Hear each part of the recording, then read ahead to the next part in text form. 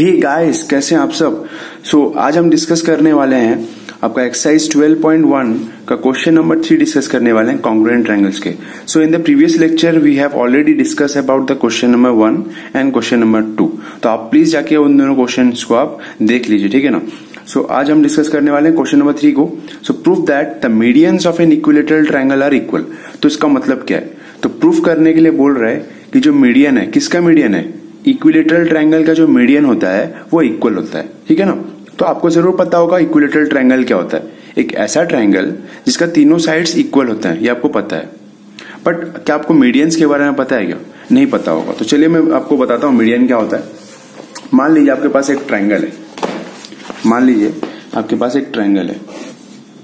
ठीक है? मान लीजिए ए बी सी आपका ट्रायंगल है। मान लीजिए आप चूज़ की चूज़ किए हैं बीसी साइड को।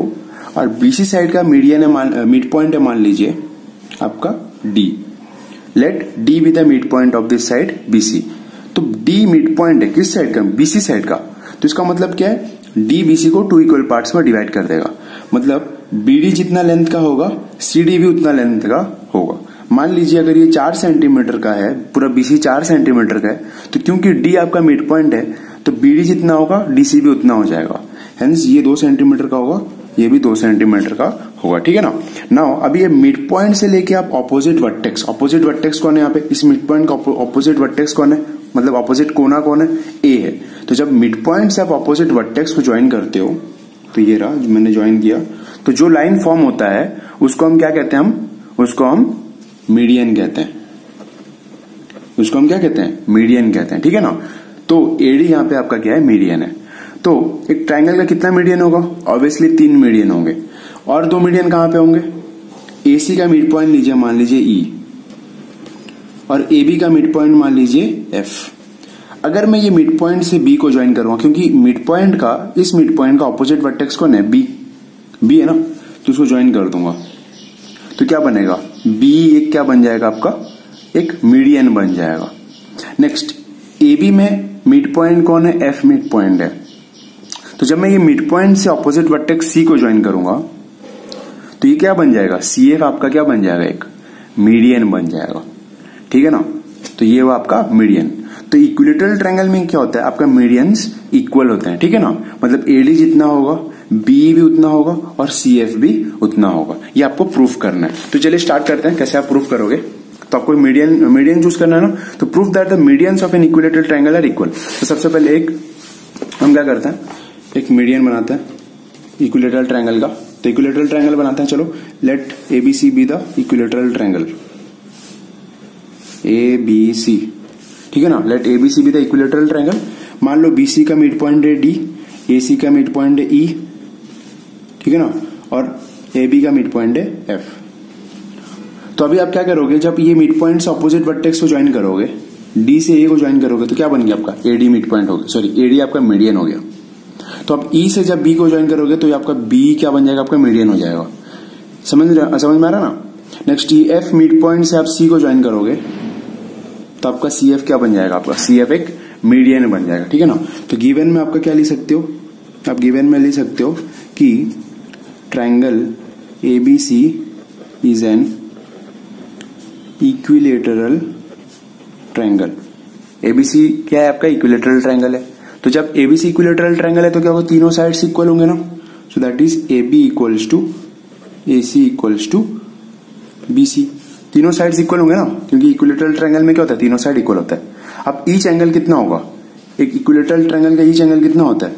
ये 60 ये भी 60 ये भी 60 तीनों साइड तीनों एंगल्स 60 होते हैं। अब क्यों 60 होते हैं मैं बता रहा हूँ। देखिए, मान लीजिए आपके पास एक ट्रायंगल है। इक्विलेटरल ट्रायंगल है। जिसका तीनों साइड मान लीजिए कितना है? सेम है। मान लीजिए A B equals to B C equals to C A है। क्यों सेम है? क्योंकि वो इक्विलेटरल ट्रायंगल था। अब आपके पास एक थ्योरम था ना? मैंने आपको सबसे स्टार्टिंग बताया था कि angles opposite to equal sides are equal मतलब अगर साइड्स इक्वल होंगे तो उसका ऑपोजिट एंगल्स भी इक्वल होंगे, ठीक है ना? तो अभी देखो ए बी का, इस ट्रायंगल में ए बी का ऑपोजिट ऑपोजिट एंगल कौन है? ये आपका एंगल सी ठीक है ना? फिर बीसी का ऑपोजिट एंगल कौन है? बीसी का ऑपोजिट एंगल आपका एंगल ए अब बीच में इक्वल्स टू का साइन दिया हुआ इसलिए इक्वल्स टू में क्या हूँ मैं? ठीक है ना? और सी ए का ऑपोजिट एंगल कौन है? सी ए का ऑपोजिट एंगल आपका एंगल बी एंगल बी और ये दोनों साइड्स के बीच में इक्वल्स का सिंबल है ना? तो इसलिए angle A equals to angle B हो गया। तो angle C equals to angle A equals to angle B तो तीनों एंगल्स कितने सेम है। तो एक ट्राइंगल का एंगल सम प्रॉपर्टी कितना होता है? तीनों एंगल का सम कितना होता है? 180 होता है। तो देयर फोर में क्या लिख सकता था? Angle A plus angle B plus angle C कितना है? 180 और बोला क्या क्या है? कि तीनों एंगल सेम है। So therefore angle A plus angle B को ए के साथ रिप्लेस कर सकता हूँ ना? फिर एंगल सी को भी ए के साथ रिप्लेस कर सकता हूँ इक्वल्स टू 180 डिग्री ठीक है ना? So therefore angle A plus angle A plus angle A क्या हो जाएगा? Three times of angle A equals to 180 degree so therefore angle A कितना हो जाएगा? 180 divided by three so therefore आपका एंगल ए कितना हो जाएगा? 60 डिग्री तो अगर आपका एंगल ए 60 डिग्री है तो आपका एंगल बी भी कितना होगा? 60 डिग्री और आपका एंगल सी भी हो जाएगा 60 डिग्री ठीक है ना? तो इसलिए क्या होता है? आपका एक ट्राइंगल में तीनों एंगल्स क्या होंगे? सेम होते हैं. दैट इज़ 60 60 60 क्यों? क्योंकि उनका साइड सेम है. तीनों साइड सेम है. तो उनका ऑपोजिट एंगल्स भी क्या होगा? इक्वल होगा. दैट इज़ हर हर एंगल कितना होगा? 60 डिग्री होगा, ठीक है ना? तो हम अपने गिवन क्वेश्चन की तरफ़ आते हैं। तो हमें क्या दिया गया था? कि ट्राइंगल है, जो कि इक्विलेटरल ट्राइंगल है तो ऑब्वियसली क्या होगा? तीनों साइड्स इक्वल होगा। और अगर तीनों साइड्स इक्वल होगा तो क्या होगा? ईच एंगल 60 डिग्री हो जाएगा। That is angle A equals to angle B equals to angle C कितना होगा? 60 डिग्री वो मैंने अभी बता दिया था। आप उतना नहीं लिख के भी करोगे तो वो एग्जामिनर समझ जाएगा, ठीक है ना? नेक्स्ट अभी हमको क्या करना था? मीडियन ड्रॉ करना था। So let A D comma B comma C F देखो एडी ये रहा एडी है ना आपका एरा एडी बी और ये सी एफ़ आपका क्या है? ये तीनों साइड्स आपका मीडियन है। Let AD B comma C F be the median of triangle ABC हमने मान लिया कि एडी बी और सी एफ़ आपका मीडियन है। तो अगर ये मीडियन है तो मतलब क्या? एडी मीडियन है तो इसका मतलब क्या हुआ? डी आपका मिड पॉइंट है। डी आपका मिड पॉइंट है, क्योंकि मीडियन से आपको क्या पता चलेगा? मिड पॉइंट तो अगर एक ट्राइंगल में मान लीजिए ये मीडियन है तो ये वाला पॉइंट क्या होगा? ये मिड पॉइंट हो जाएगा। ठीक है ना? तो ये आपका एडी क्या है? एडी आपका मीडियन है। तो डी आपका मिड पॉइंट हो जाएगा। तो क्योंकि डी आपका मिड पॉइंट तो डी आपका मिड पॉइंट है तो इसका मतलब क्या होगा? बीडी जितना होगा डीसी भी उतना होगा। सिमिलरली ई मिड पॉइंट है तो मतलब ए जितना होगा ईसी भी उतना होगा। सिमिलरली ए एफ़ जितना है बी एफ़ भी उतना हो जाएगा, क्योंकि एफ़ आपका क्या है? मीडियन मिड पॉइंट है आपका। एफ़ क्या आपका मिड पॉइंट है? क्यों मिड पॉइंट है एफ़ क्योंकि सी एफ़ आपका मीडियन था। तो सी एफ़ आपका मीडियन था मतलब एफ़ आपका मिड पॉइंट हो जाएगा। सो देर मैं इधर क्या लिख सकता हूँ? So D comma E and F will be the mid points किसके mid points will be the mid points of sides D किसका मिड पॉइंट है बीसी ई किसका मिड पॉइंट है? ए सी एंड एफ़ किसका mid point है? A B respectively मतलब D किसका mid point है बीसी का ई e किसका मिड पॉइंट है एसी का और एफ़ किसका मिड पॉइंट है एबी का रेस्पेक्टिवली मतलब वो अपने अपने रेस्पेक्ट में इक्वल मतलब मिड पॉइंट से. ठीक है ना? नेक्स्ट इससे हमको क्या पता चल रहा है? कि डी मिड पॉइंट है तो मतलब बीडी जितना होगा सीडी भी उतना होगा. So as D is the mid point therefore BD equals to C D क्योंकि आपका D is the mid point था. D is the mid point of BC जो कि हमने लिख लिया था. सिमिलरली बीडी और सीडी सेम है तो मतलब ए और ईसी भी सेम होगा। ए इक्वल्स टू ईसी यहाँ पे कौन मिड पॉइंट था आपका? E is the mid point of AC E is the mid point of AC next next कौन मिड पॉइंट है? आपका एफ़ मिड पॉइंट है ना तो A F equals to B F हो जाएगा। A F equals to B F हो जाएगा। So that is F is the mid point of किसका मिड पॉइंट है? ए बी का मिड पॉइंट ठीक है ना? F is the mid point of A B ठीक है? नेक्स्ट अभी हमको प्रूफ क्या करना है कि तीनों तीनों मीडियन आपका सेम है। एडी बी और सी एफ़ आपका तीनों मीडियन सेम है। तो मैंने आपको बताया था कॉन्ग्रुएंट ट्रायंगल्स में, जब भी आप किसी भी साइड्स को इक्वल करते हो तो आपको किसका हेल्प लेना पड़ता है? आपको कॉन्ग्रुएंट ट्रायंगल्स का हेल्प लेना पड़ता है। बताया था ना कि अगर आपको साइड्स इक्वल करने हैं एंगल्स इक्वल करने हैं, आपको किसका हेल्प लेना है? आपको कॉन्ग्रुएंट ट्रायंगल्स का हेल्प लेना है। ठीक है ना? अभी टू प्रूफ लिखते हैं। टू प्रूफ क्या प्रूफ करना है हमको? कि एडी का लेंथ जितना है बीई का भी उतना लेंथ है, और सी एफ़ का भी उतना लेना देखो ना, क्या प्रूफ करना था? Median AD equals to median BE equals to median C F ये तीनों साइड का लेंथ आपको इक्वल करना है, ठीक है ना? तो आप उन तीनों लेंथ का, उन तीनों लेंथ को आप सेम कैसे करोगे? आपको ये नहीं आता, मान लो आपको नहीं समझ में आ रहा है कि आप क्वेश्चन को कैसे अप्रोच करोगे। तो मैं बता देता हूँ कि एडी और बी को पहले सेम कर लो। तो एडी और बी को सेम कर लोगे, उसके बाद क्या करोगे? बी और सी एफ़ को इक्वल कर दोगे। उसके बाद एडी और सी एफ़ को इक्वल कर दोगे। तो क्या होगा? बात खत्म, आपका तीनों साइड इक्वल हो जाएगा।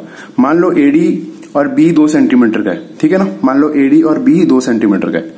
और सेकेंड आपने प्रूव कर लिया कि बी और सी एफ़ भी दो से, दो सेंटीमीटर का है। तो ये दोनों भी दो सेंटीमीटर का हुआ। तो अभी ये दो सेंटीमीटर ये भी दो सेंटीमीटर ये भी दो सेंटीमीटर तो तीनों कितने हो गए? दोनों, तीनों के तीनों दो सेंटीमीटर हो गए, ठीक है ना? अब वो प्रूफ कैसे करोगे? तो सबसे पहले देखो एडी बी और सी एफ़ कौन कौन से ट्रायंगल में? आपको पहले दो ट्रायंगल्स को पहले कॉन्ग्रेंट करना है। तो एडी और बी कहाँ पर है? तो एडी ये रहा आपका ये ये रहा एडी और बी आपका कहाँ पे बी ये रहा आपका, यहाँ पे है। तो अब ऐसा कौन सा दो ट्रायंगल चूज़ करोगे, जिसमें आपका गिवन एलिमेंट्स भी होगा और आपका रिक्वायर्ड साइड भी होगा? ये रिक्वायर्ड साइड कौन सा आपका AD equals to B prove करना है। तो सबसे पहले एडी इक्वल्स टू बी कैसे प्रूव करोगे? एडी और बी यहाँ पे है ना? तो ऐसा दो ट्रायंगल बताओ जिसमें एडी भी हो और बी भी हो। और जब उन दोनों ट्रायंगल्स को आप कॉन्ग्रेंट कर दोगे तो ऑटोमेटिक क्या होगा भाई? सीपीसीटी से दोनों साइड इक्वल हो जाएँगे। तो एडी और बी कौन सा ट्रायंगल में? देखो एडी वाला देखो ये एडी इस ट्रायंगल में भी तो हो सकता है ना? A B D A B D ये वाला ट्रायंगल दिखाई दे रहा है ना आपको? मैं आप, मैं अपना हाथ चला रहा हूँ यहाँ देखो। ए बी डी ये ट्रायंगल और सिमिलरली बी कौन सा ट्रायंगल में हो सकता है? आप कोई भी ट्रायंगल लो। बी ई सी ये वाला ट्रायंगल में हो सकता है ना? तो जो जो, जिस दोनों ट्राइंगल में वो लोग हैं, उन दोनों ट्राइंगल को आप क्या करो? सेपरेट करो। तो देखो मैं बता रहा हूँ कैसे करोगे आप। दोनों ट्राइंगल को मैं सेपरेट कर। रहा हूँ ये रहा आपका ए बी डी ठीक है ना? दूसरा आपका ट्राइंगल कैसा देखो, आपका पहला ट्राइंगल इस हिसाब से था। दूसरा आपका ट्राइंगल कौन सा इस हिसाब से। BE C BE C triangle है आपका बी ई सी तो अगर आपने इन दोनों ट्रायंगल को क्या किया? कॉन्ग्रेंट कर दिया तो ऑटोमेटिक क्या हो जाएगा? आपका ए बी और बी दोनों क्या हो जाएँगे? इक्वल हो जाएँगे। तो आप उन दोनों ट्रायंगल इन दोनों ट्रायंगल को कॉन्ग्रेंट कैसे करोगे? मेरा बात समझ में आ रहा है ना? इन दोनों ट्रायंगल को आप कैसे कॉन्ग्रेंट करोगे? तो सबसे पहले तो सबसे इजी वाला चीज़ देखो। इस ट्रायंगल और इस ट्रायंगल में जो मैंने ड्रॉ किया है, क्या ए बी और बीसी सेम है क्या? देखो ए बी और बीसी सेम है ना? देखो तीनों साइड इक्वल था ना? तो देखो ए बी और बीसी तो सेम होगा। पहला साइड हो गया। नेक्स्ट देखो, ये एंगल बी इस ट्रायंगल का देखो, इस ट्रायंगल का, ये पूरा वाला। इस ट्रायंगल का एंगल बी ये पूरा वाला। यहाँ से लेके यहाँ तक का, पूरा वाला एंगल बी और इस ट्रायंगल का, ये देखो, जो मैंने लिया था बी सी ट्रायंगल का, ये पूरा एंगल सी कितना है? सिक्सटी डिग्री है ना? क्योंकि एंगल ए एंगल बी और एंगल सी कितना है? सिक्सटी डिग्री तो अभी देखो, इस ट्रायंगल का ए बी डी ट्रायंगल का एंगल बी कितना है? Sixty degree. Similarly B E C triangle का एंगल सी कितना है? Sixty degree. तो मैं इधर क्या लिख सकता हूँ? ए बी डी जो है, वो कितना सिक्सटी डिग्री है। सिमिलरली बी सीई जो है, वो आपका सिक्सटी डिग्री है। तो दोनों एंगल तो सेम होगा ना? देखो ना ए बी डी आपका sixty degree. B C E आपका सिक्सटी डिग्री। क्यों? क्योंकि आपका इक्विलेटरल ट्रायंगल था। तो इक्विलेटरल ट्रायंगल का मतलब क्या होगा? ईच एंगल क्या होगा? आपका सिक्सटी डिग्री होगा। नेक्स्ट नेक्स्ट देखो। साइड हो गया, फिर एंगल हो गया। साइड हो गया, फिर एंगल हो गया। नेक्स्ट आपको क्या चाहिए? नेक्स्ट आपको एक साइड चाहिए। तो साइड एंगल साइड से हो सकता है। और या तो angle side angle angle side angle से भी हो सकता है। बट बट देखो, अगर मैं यहाँ पे ए बी ले लिया एक साइड नेक्स्ट एंगल हुआ। नेक्स्ट नेक्स्ट नेक्स्ट साइड देखो बी डी बी डी कहाँ पर है? बी डी यहाँ पर है। है कि नहीं? तो side angle side next side angle side से हो सकता है कि नहीं? पहले आप चेक करो। देखो होगा कि नहीं? क्योंकि देखो, यहाँ पे आपका क्या है? साइड है, फिर एंगल है, फिर नेक्स्ट क्या आना चाहिए? नेक्स्ट आपका साइड आना चाहिए। नेक्स्ट आप एंगल नहीं ले सकते हो। नेक्स्ट आपका एंगल होगा तो वो नहीं होगा। वो दूसरा क्राइटेरिया से हो जाएगा। आपके पास वो वो एलिमेंट्स है भी कि नहीं वो आपको देखना पड़ेगा, ठीक है ना? तो एक साइड हो गया, फिर एक एंगल हो गया। तो नेक्स्ट एक साइड देखो बीडी सिमिलरली साइड फिर एंगल फिर एक एक साइड देखो। दैट इज़ इसी तो यहाँ पे मैं एक चीज़ गौर करके देख सकता हूँ, क्योंकि ये तीनों साइड्स क्या है? तीनों साइड सेम है ना? तो मान लो ये चार सेंटीमीटर का है। तो ये भी कितना हो जाएगा चार सेंटीमीटर का और ये बीसी भी कितना हो जाएगा चार सेंटीमीटर का। क्योंकि तीनों साइड क्या है? सेम है। तीनों साइड क्या है आपका? सेम है। ध्यान से सुनो। तो अभी जब यहाँ पे एफ़ क्या आपका मिड पॉइंट है तो जब आप मिड पॉइंट का मतलब समझते हो ना तो जब आपका मिड पॉइंट है तो क्या हो जाएगा? ये बी एफ़ जितना हो जाएगा ए एफ़ भी उतना हो जाएगा। मतलब ये साइड को टू इक्वल पार्ट्स में डिवाइड कर सकते हैं। तो अभी ये चार है ना, ये पूरा चार है तो एफ़ मिड पॉइंट है। तो चार का आधा कितना हो जाएगा? दो। तो ये आपका दो हो जाएगा, ये भी आपका दो हो जाएगा। क्यों? क्योंकि एफ़ मिड पॉइंट है। टू इक्वल पार्ट्स में साइड को डिवाइड कर सकते हैं। सिमिलरली ई आपका मिड पॉइंट है ना? तो ये चार था आपका। तो ई e अगर मिड पॉइंट है तो ये और चार है। तो ये कितना होगा? ए e और ई e सी कितना होगा? ये भी दो सेंटीमीटर का होगा, ये भी दो सेंटीमीटर का हो जाएगा, ठीक है? नेक्स्ट बीसी आपका कितना है? फोर सेंटीमीटर का है। तो बीसी अगर फोर सेंटीमीटर का है, और बीच में कौन है? मिड पॉइंट डी है तो बीडी और सीडी भी तो सेम होगा ना, क्योंकि डी मिड पॉइंट है बीसी का। सो ये भी कितना हो जाएगा? दो, ये भी दो। मतलब बोलने का मतलब ये है, क्योंकि तीनों साइड सेम था, और तीनों साइड का मिड पॉइंट दे दिया गया मतलब इसका आधा जितना होगा, इसका आधा भी उतना होगा, और इसका आधा भी उतना होगा। बात समझ में आ रहा ना? आई थिंक आपको समझ में आ गया। तो देखो, घुमा फिरा के देखो बीडी और ईसी e का लेंथ कितना आ रहा है? टू टू आ रहा है। है कि नहीं? देखो बीडी और ईसी e का लेंथ कितना आ रहा है? टू टू आ रहा है। मतलब घुमा फिरा के ये साइड और ये साइड के आपका इक्वल है। आई थिंक आपको समझ में आ रहा हो ना? ये मैं एनालिसिस करने के लिए बता रहा हूँ कि हाँ भाई, ये इस हिसाब से हमको सोचना है, आगे जाके सोचना है उसको। अभी आपको उस स्टेटमेंट में कैसे लिखोगे? तो स्टेटमेंट में तो आप आराम से लिख सकते हो कि ए बी और ये बी सी सेम था क्योंकि इक्वलेटरल ट्रायंगल था। सिक्सटी इक्वल टू सिक्सटी हो गया। क्यों? इक्वलेटरल ट्रायंगल का अब आपको प्रूफ करना है कि बी डी और ईसी कैसे होगा। आपने यहाँ पे दिखा दिया ना कि तीनों साइड इक्वल थे तो उसका आधा आधा भी इक्वल होगा। तो बस आपको कुछ नहीं करना वही चीज़ आपको अप्लाई करना है। ठीक है ना? तो आप लिखोगे क्या? As A D equals to B equals to C F क्योंकि सॉरी ये प्रूफ करना था आपको तो सॉल्यूशन में क्या लिखोगे? As A B equals to B C equals to A C as क्या है? तीनों साइड्स इक्वल है। तो तीनों साइड का हाफ़ हाफ़ क्या हो जाएगा? तीनों साइड का हाफ़ क्या होगा? इस, ये साइड का हाफ़ क्या लिख सकता हूँ? या तो ए एफ़ लिख सकता हूँ या तो बी एफ़ लिख सकता हूँ ठीक है ना? सिमिलरली बीसी का हाफ़ क्या लिख सकता हूँ? या तो बी डी लिख सकता हूँ या तो सी डी लिख सकता हूँ। सिमिलरली एसी का आधा क्या लिख सकता हूँ? या तो ए ही लिख सकता हूँ या तो ईसी लिख सकता हूँ। मेरा जिस हिसाब से रिक्वायरमेंट होगा, जिस हिसाब से मेरा ज़रूरत होगा, उस हिसाब से मैं साइड्स लिखूँगा। आ रहा है ना बात समझ में? तो देखो मैं अप्रोच कर रहा हूँ, आपको समझ में आ जाएगा। तो सॉल्यूशन में लिखेंगे as sides are equal A B equals to B C equals to A C तीनों साइड्स इक्वल है। और उन तीनों में क्या है? मिड पॉइंट दे दिया गया है। तो मैं सब लिख सकता हूँ ना हाफ़ इसका आधा इसका आधा और इसका आधा भी तो सेम होगा ना, देखो। ये चार था, ये चार था, ये चार था। तो इसका आधा दो, इसका आधा भी दो और इसका आधा भी दो होगा ना। तो दैट्स वाई मैंने इधर क्या किया? क्योंकि साइड्स इक्वल थे तो इसका आधा ए बी का आधा किसके साथ बराबर हो जाएगा? बीसी का आधा और एसी का आधा तीनों सेम होगा ना मैं हाफ़ हाफ़ मल्टीप्लाई कर दिया तीनों साइड तो मान लो अगर आप इधर हाफ़ मल्टीप्लाई कर रहे हो तो इस तरह भी आपको हाफ़ मल्टीप्लाई करना पड़ेगा। ठीक है ना? एज पर रिक्वायरमेंट तो अभी अपना रिक्वायरमेंट कितना था? मेरा रिक्वायरमेंट था कि बीडी और ईसी को प्रूफ करना था। वो तो हमें दिखाई दे रहा है कि ये दो सेंटीमीटर और ये दो, दो सेंटीमीटर हो गया। तो उसको आप स्टेटमेंट में आपको लिखना है उस चीज़ को। ठीक है ना? तो हाफ़ ऑफ़ ए बी को क्या लिखोगे आप? हाफ़ ऑफ़ ए बी को आप कुछ भी लिखो। हाफ़ ऑफ़ ए बी को मैं अभी मेरा रिक्वायरमेंट दिया तो मैं इधर ए एफ़ लिख ले रहा हूँ। ए एफ़ लिख ले रहा हूँ। तो हाफ़ ऑफ़ ए बी आपका क्या है? हाफ़ ऑफ़ ए बी आपका ए एफ़ बी है और बी एफ़ बी है। ठीक है ना? तो हाफ़ ऑफ़ ए बी आपका क्या है? ए बी का आधा क्या हो सकता है? या तो ए एफ़ हो सकता है या तो बी एफ़ हो सकता है। और दोनों तो सेम है ना? तो मैंने मैंने लिखा यहाँ पे कि ए एफ़ का ए बी का आधा क्या है? आपका ए एफ़ है और ए बी का आधा क्या आपका बी एफ़ बी है। फिर इक्वल्स टू बीच में साइन क्या इक्वल्स टू है ना? Next half of B C B C का आधा क्या हो सकता है? तो बीसी का आधा बीडी हो सकता है या तो सीडी हो सकता है, दोनों में से कोई लिखोगे तो चलेगा। तो हाफ़ ऑफ़ बीसी क्या आपका? बीडी इक्वल्स टू डीसी देखो ना बीसी का आधा क्या आपका? बीसी का आधा आपका बीडी है और सीडी है। नेक्स्ट इक्वल्स टू एसी का आधा क्या आपका? एसी का आधा आपका ए है और ईसी है। तो दोनों में लिख सकता हूँ। ए इक्वल्स टू ईसी देखो ना सबका इक्वल हो गया ना सब साइड इक्वल हो गया कि नहीं देखो सो so, देखो ये दो सेंटीमीटर था ये भी दो सेंटीमीटर ये भी दो सेंटीमीटर ये भी दो सेंटीमीटर ये भी दो ये भी दो तो आया कि नहीं देखो ये दो है तो ये भी दो सेंटीमीटर ये भी दो सेंटीमीटर ये भी दो सेंटीमीटर ये भी दो सेंटीमीटर ये भी दो सेंटीमीटर हो ना तो आप यहाँ सब स्टेटमेंट लिख सकते हो कि हाँ बीडी आपका रिक्वायरमेंट क्या था आपका रिक्वायरमेंट था कि बीडी और ईसी आपका सेम है बोल के तो हो गया ना आपका देखो बीडी और ईसी कहाँ पे है देखो बीडी और ईसी सेम हो गया ना क्योंकि ये सब साइड इक्वल थे आपस में तो बीडी और ईसी क्यों सेम नहीं होगा? बात समझ में आ रहा ना? हाँ। तो नेक्स्ट है आपका ट्राइंगल्स का नेम कैसे लिखोगे? ट्राइंगल का नेम लिखना बहुत ज़रूरी है। तो देखो, सबसे पहले अगर आपका एंगल दिया ना तो उसको सबसे पहले आप ओवरलैप करवा दो। तो बी एंगल कितना दिया आपका? 60 डिग्री ना?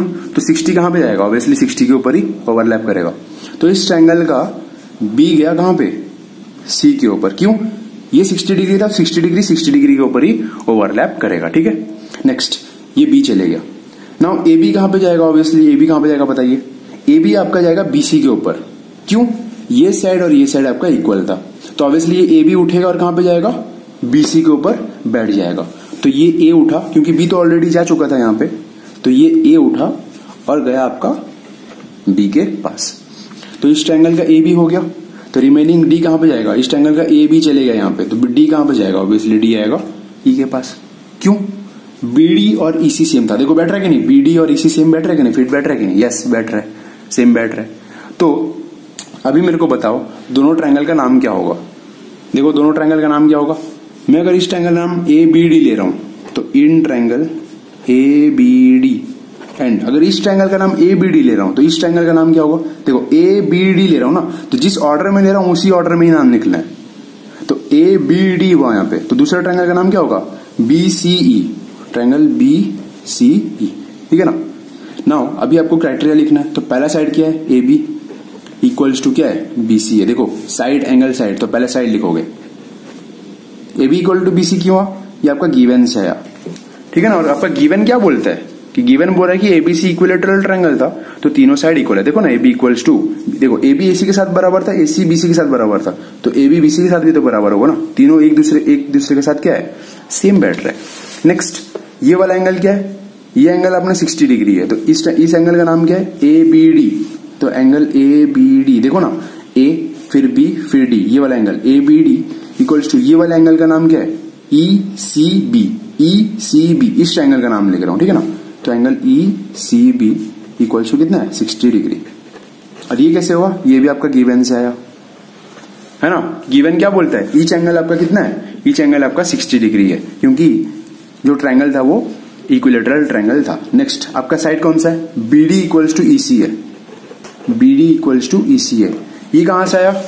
ये आया आपका इक्वेशन नंबर वन से। सो देर फोर इधर लिख सकता हूँ क्योंकि सब अपने आपके साथ इक्वल है। देखो ए एफ़ बी एफ़ के साथ सेम है। बी डी डी सी के साथ सेम है। डी सी ई के साथ सेम है। और ए, ए, और ए ई सी के साथ सेम है। सब साइड्स अपने साथ इक्वल है। तो इसके साथ, इसका मतलब मैं क्या लिख सकता हूँ कि B D equals to E C है आपका। लिख सकता हूँ ना जो जो रिक्वायरमेंट था। तो let it be equation number one so let it be from equation number one ठीक है ना? सो बाय, कौन सा criteria by side angle side क्या हो जाएगा? Triangle A B D is congruent to triangle B C E आई बात समझ में? तो यहाँ से आपका क्या निकल जाएगा? आपको मीडियन चाहिए था ना मीडियन एडी और बी चाहिए था ना so that is A D equals to B देखो. जिस ऑर्डर में लिख रहा हूँ, उसी ऑर्डर में आ रहा है. A D equals to B so therefore A D equals to B कैसे हुआ? बाय सीपी सीटी ठीक है ना? तो आपका दो साइड्स इक्वल हो गया, दो दो मीडियंस इक्वल हो गए। अभी आपका काम क्या है? बी और सी एफ़ इक्वल करना है। तो सो नेक्स्ट क्योंकि आपका अभी एडी और बी अभी क्या हो गया था? इक्वल हो गया था, ठीक है ना? अभी जस्ट प्रूफ किए थे। तो नेक्स्ट टारगेट क्या है आपका? एडी और बी सेम हो गया। तो नेक्स्ट आपको क्या प्रूफ करना है? कि बी और सी एफ़ बी आपका इक्वल है। बी और सी एफ़ बी इक्वल है, ठीक है ना? नेक्स्ट आपका तीसरा टारगेट होना चाहिए कि एडी और सी एफ़ आपका इक्वल होगा। तो अगर ये इसके साथ इक्वल है, और ये इसके साथ इक्वल है, और ये इसके साथ इक्वल है तो तीनों आपस में क्या हो जाएँगे? इक्वल हो जाएँगे। सो बी और सी एफ़ को आप कैसे इक्वल कर सकते हो? ठीक है ना? तो बी और सी एफ़ आपका टारगेट है। कि टारगेट है आपका B equals to C F आपको प्रूफ करना है इक्वल तो मैंने आपको क्या बताया था, अगर दो साइड को इक्वल करना है तो आपको हेल्प क्या लेना है, किसका हेल्प लेना है? कॉन्ग्रेंट ट्रायंगल्स का. तो बताइए मुझे बी और सी एफ़ ऐसे कौन से दो ट्रायंगल्स में है? जिन दोनों ट्रायंगल्स को मैं कॉन्ग्रेंट करूँगा तो ऑटोमेटिक क्या हो जाएगा? B equals to C F हो जाएगा। तो डायरेक्टली आपको मतलब फिर से कॉन्ग्रेंट करके नहीं करना है, बस आपको डायरेक्टली लिखना है। So by similarly this two triangles are similar so therefore by CPCT B equals to C F तो आपको फिर से पूरा स्टार्टिंग से प्रोसेस लिखना नहीं है। आप डायरेक्ट सिमिलरली करके लिख सकते हो, क्योंकि आप पहला स्टेप लिख लिख लियो कि हाँ भाई, कि A D equals to B side angle side से इस हिसाब से कॉन्ग्रुएंट था बोल के। ठीक है ना? तो अभी बस आपको दो ट्रायंगल चूज़ करने हैं और उन दोनों ट्रायंगल को लिखना है so by similarly side angle side this two triangles are congruent बोल के। And by CPCT this two sides are equal तो मुझे वो दो ट्रायंगल्स का नाम अच्छे से चाहिए क्योंकि दो ट्रायंगल कौन से हैं और उन दोनों ट्रायंगल्स का नाम क्या क्या है। तो मुझे बताओ बी और सी एफ़ कौन सा ट्रायंगल में? तो देखो बी वाला यहाँ पर है ना, ध्यान से देखो फिगर बी वाला ये रहा और सी एफ़ आप कहाँ पे कहाँ पे आपका? ये रहा सी एफ़ सी एफ़ आपका ये रहा। तो आपका टारगेट अभी क्या है? बी और सी एफ़ को इक्वल करवाना है। तो बी आपका कौन सा ट्रायंगल में? तो बीई e आपका इस ट्रायंगल में, देखो बीई सी इस ट्रायंगल में, ठीक है ना? और सी एफ़ आपका कौन सा ट्रायंगल में? सी एफ़ आपका बी एफ़ सी ट्रायंगल में। तो दोनों ट्रायंगल्स को आप ड्रॉ कर लो। तो ये आपका ट्रायंगल ड्रॉ कर रहा हूँ मैं। एक आपका है B C B F C और दूसरा ट्रायंगल है आपका इस हिसाब से? बीईसी ठीक है ना? अगर मैं दोनों ट्राइंगल को कॉन्ग्रेंट कर देता हूँ तो ऑटोमेटिक क्या हो जाएगा? आपका बी सॉरी आपका बी और सी एफ़ क्या हो जाएगा? देखो बी और सी एफ़ इक्वल हो जाएगा। होगा कि नहीं? तो बस मुझे आपका उस, दोनों ट्राइंगल को मैं किस हिसाब से कॉन्ग्रेंट कर सकता हूँ? देखो सिंपल सा बात है, उतना लंबा चौड़ा खींचने का ज़रूरत नहीं है, क्योंकि हमने पहला स्टेप अच्छे से कर लिया था। तो अभी देखो बी एफ़ और सी दो सेंटीमीटर का है ना, देखो बी एफ़ दो सेंटीमीटर का और ईसीबी आपका दो सेंटीमीटर का। तो ऑब्वियसली ये साइड और ये साइड तो आपका इक्वल है। है ना? नेक्स्ट आपका ये बी वाला एंगल इस एंगल का F B C F B C आपका कितना है? सिक्सटी डिग्री है। नेक्स्ट ई सी बी आपका कितना है? सिक्सटी डिग्री ना? क्योंकि देखो, ये वाला एंगल और ये वाला एंगल आपका क्या है? इक्वल है दैट इज़ सिक्सटी डिग्री समझ में आ रहा है? और नेक्स्ट बीसी जितना है बीसी भी उतना ही होगा ना, क्योंकि कॉमन लेंथ है। So there side angle side side angle side से क्या होगा? दोनों ट्रायंगल कॉन्ग्रेंट हो जाएगा। तो आपको उतना डायरेक्टली प्रूफ नहीं करना है। प्रूफ करके डायरेक्टली एक्सप्लेन नहीं करना है। तो बस आप सिमिलरली लिख के भी कर सकते हो। तो नेक्स्ट आपका ये बी वाला कहाँ पे जाएगा? बी वाला जाएगा आपका सी के पास और नेक्स्ट एफ़ वाला जाएगा आपका ई e के पास। क्योंकि बी एफ़ और बी एफ़ और ई सी आपका कितना है? सेम है। देखो टू टू सेंटीमीटर है ना? समझ में आ रहा है ना? नेक्स्ट बीसी आपका किसके साथ समान है? बीसी आपका बीसी के साथ ही समान है। तो ये सी देखो बी वाला यहाँ पे चले गया था एफ़ वाला यहाँ पे आ गया सी वाला कहाँ पे आएगा? सी वाला आएगा, आएगा आपका बी के पास। तो हेंस ट्राइंगल का नाम क्या होगा? तो सिमिलरली मैं क्या लिख सकता हूँ? Similarly by side angle side क्या लिख सकता हूँ? ट्राइंगल ये ट्राइंगल का नाम क्या है? F B C F B C is congruent to triangle अगर इस ट्राइंगल का नाम एफ़ बी सी है देखो एफ़ बी सी ब्रैकेट के अंदर रखा हूँ एफ़ बी सी तो इस इस ट्राइंगल का नाम क्या होगा? ई सी बी हो जाएगा। ई सी बी जिस ऑर्डर में लिख रहा हूँ, उसी ऑर्डर में आपको लिखना है। तो क्योंकि by similarly by side angle side से क्या है? आपका triangle F B C congruent to triangle E C B है। तो आपका क्या होगा? B equals to C F हो जाएगा, देखो। B equals to C F so B equals to C F ठीक है ना? ये आपका दूसरा पॉइंट हो गया। तो आपको इतना सब ड्रॉ करके नहीं लिखना है आपको ये रफ में कर लीजिएगा कि ट्राइंगल्स का नेम क्या है बस। अब जैसे तैसे ट्राइंगल का नाम नहीं लिख सकते हो, गलत हो जाएगा। ठीक है ना? तो by similarly by S S this two triangle are congruent so B equals to C F ये कैसे हुआ? बाय बाय आपका सीपीसीटी से हो गया। ठीक है ना? नेक्स्ट देखो। नेक्स्ट आपको क्या प्रूफ करना है? B equals to C F हो गया। एडी इक्वल्स टू बी हो गया था। बी इक्वल टू सी हो गया था। नेक्स्ट टारगेट क्या आपका? एडी और सी एफ़ को इक्वल कराना है। ठीक है ना? तो आपका नेक्स्ट टारगेट क्या है? A D equals to C F करना है। अब मुझे बताओ एडी और सी एफ़ कौन से दो ट्राइंगल में है? तो ऑब्वियसली देखो एडी ये रहा एडी ये रहा ए बी डी ट्राइंगल में एडी है ना? और नेक्स्ट सी एफ़ आपका कौन सा ट्राइंगल में सी एफ़ आपका ये है ना? ये रहा आपका C F B F C तो दोनों ट्राइंगल को आप एक्सट्रैक्ट कर लो। तो दोनों ट्राइंगल कैसे होंगे? एक होगा A B D A B D ठीक है ना? ए बी डी ये वाला ट्राइंगल ठीक है ना? देखो A B D next C F आपका किस ट्राइंगल में इस ट्राइंगल में, ये वाला ट्राइंगल में। तो नाम क्या है? सी एफ़ बी ट्रायंगल तो वो ट्रायंगल को आप ड्रॉ कर लो। तो ये रहा आपका सी एफ़ बी बात समझ में आ रहा ना? अब आप दोनों ट्रायंगल को कैसे कॉन्ग्रेंट कर सकते हो?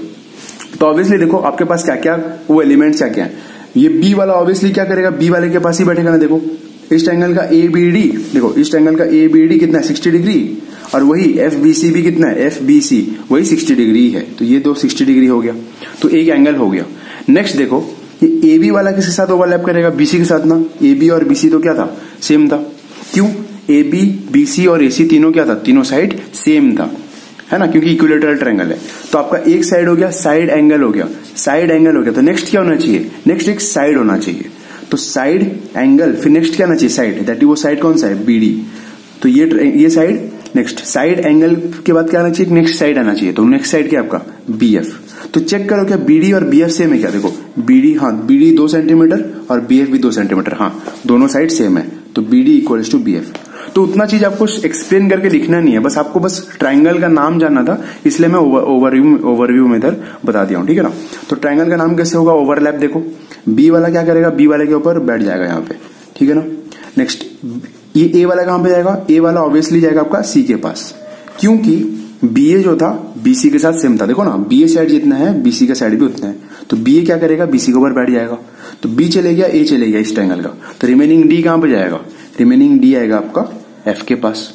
क्योंकि बी डी जितना था बी एफ़ भी उतना था। So therefore so by side angle side so similarly मैं क्या लिख सकता हूँ?